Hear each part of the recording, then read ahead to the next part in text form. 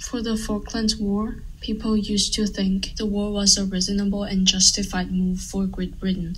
The war lit up the nationalism of people of Britain and reminded them of the spirit of Battle of Trafalgar, D-Day Landing, and etc.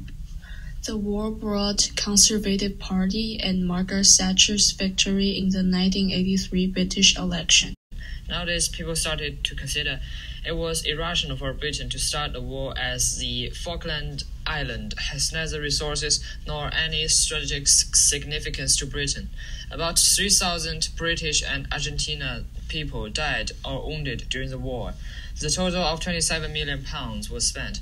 In another expression, British spent an average of 150 million pounds on each person living in that island. These were all spent on such an island that dip- diplomats of Britain was negotiating to give up this island with Argentina. A little background. Unemployment rate was three times larger than before in 1983. One seventh British manufacturing factories broke in 1983.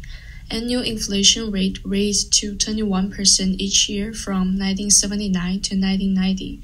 But Britain still spent such a great amount of money on such an island.